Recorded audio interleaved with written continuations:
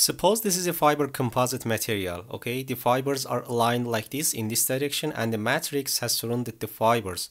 Two important questions arise here about the Young modulus of composite material. First, what is the Young modulus of this composite? Is it equal with the Young modulus of fiber or matrix or maybe the average value? And the second question is, does it make any difference if I measure the Young modulus of this composite in any directions? So guys, you want to have a clear answer for these two questions, keep watching this short video then.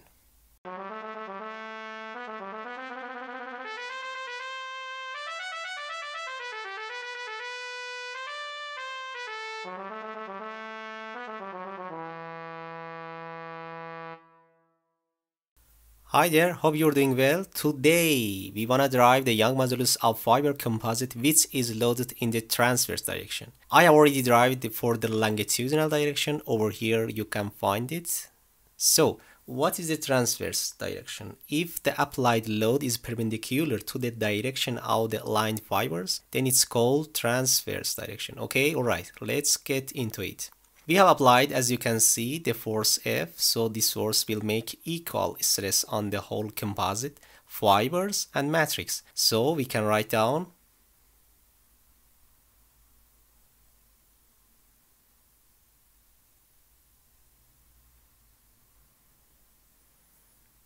This is the stress of whole composite. This one is the stress related to the fiber and this one to the matrix.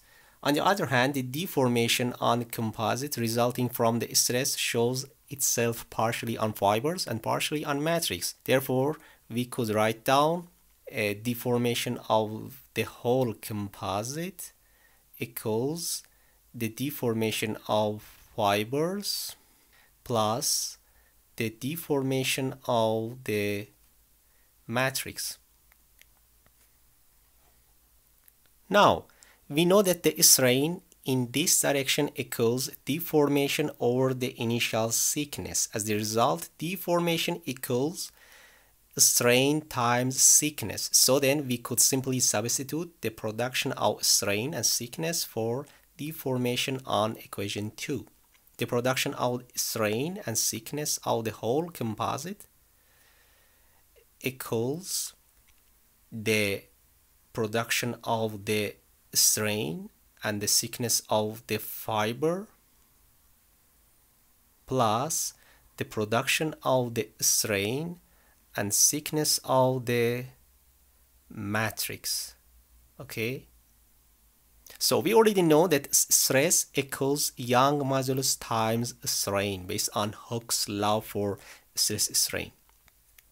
Therefore strain equals stress over the Young modulus. So we can substitute the stress over Young modulus for the strain in equation 3.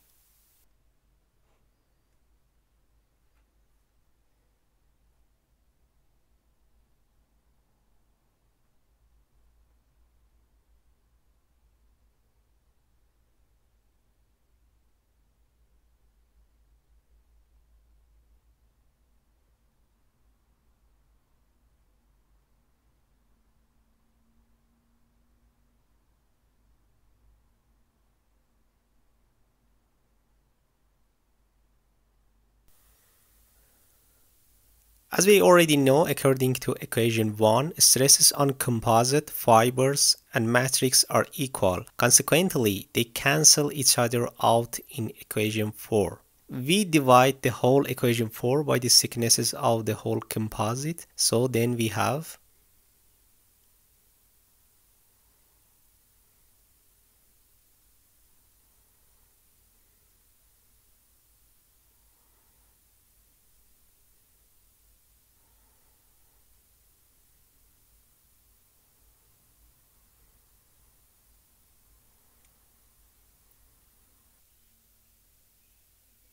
Now we have to define a term here, phi, which shows the ratio of the thickness of fiber over the thickness of the whole composite. We can write down the same thing for the matrix as well, the thickness of matrix over the thickness of whole composite equals the thickness of whole composite minus the thickness of fiber and this equals 1 minus phi. So Now we put the defined phi and 1 minus phi let's say in equation 5 then we have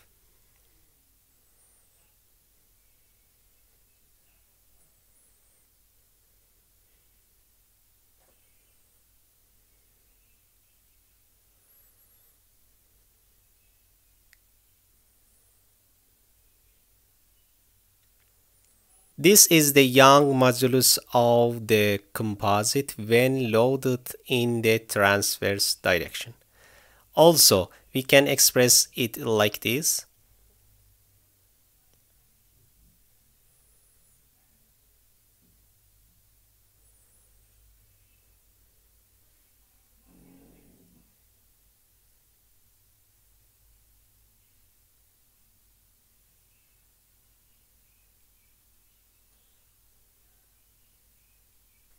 This is the Young modulus of the composite, Young modulus of fiber, Young modulus of the matrix, and phi is the ratio of the thickness of fiber over the thickness of the composite. So I've tried to collect all the given information or let's say this derivation in one single sheet please take a look at it briefly and then come back please here because I want to tell you a nice summary to make sure that you're not gonna miss something okay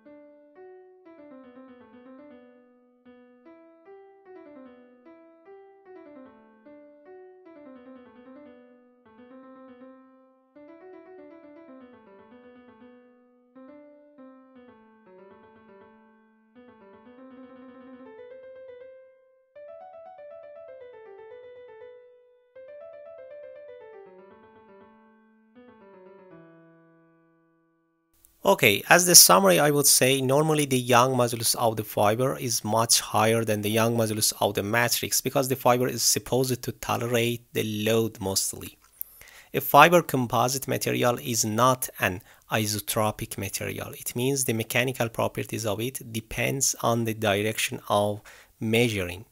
Transverse direction means if the load is perpendicular to the aligned fibers the Young modulus of a fiber composite material in the transverse direction could be calculated with this equation. So thanks for your watching. Please subscribe for more mechanical lectures. Bye.